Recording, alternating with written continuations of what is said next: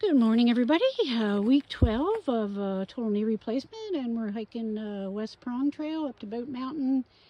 Uh, it's just a little over five miles. We might do a little bit more up on Bote, but uh, it's a beautiful day to be in the woods. Okay, more later. West Prong Trail and the Smokies.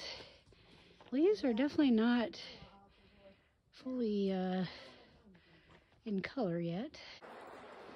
Okay, sun's starting to come out. Got some colors there, and we are walking down into campsite 18.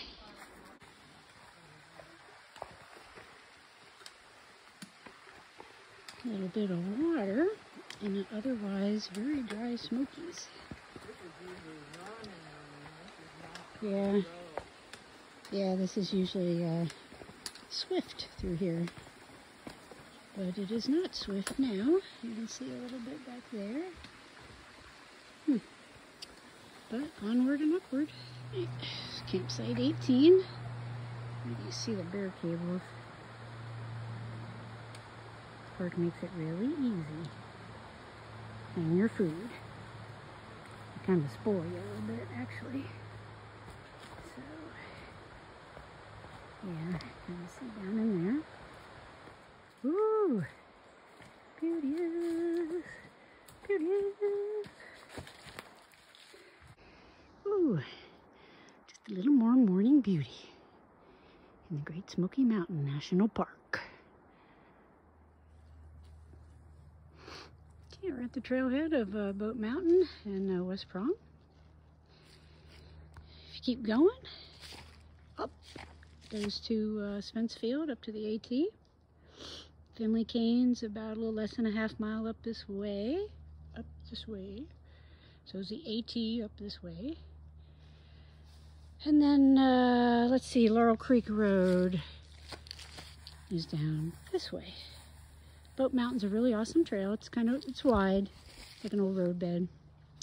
But it's beautiful up here. We're going to have a little snack and enjoy some of these colors. Woohoo! Then head back down. And our job will be done here in the Smokies for today.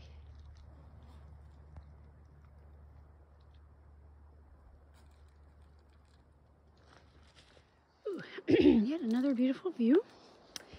We're coming out on uh, West Prong Trail now, heading back to the car. Yeah, we got some colors going on.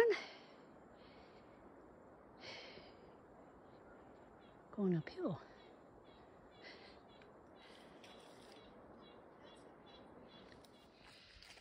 Okay, so West Prong Trail off of uh, Tremont Road, which is uh, going toward Cades Cove.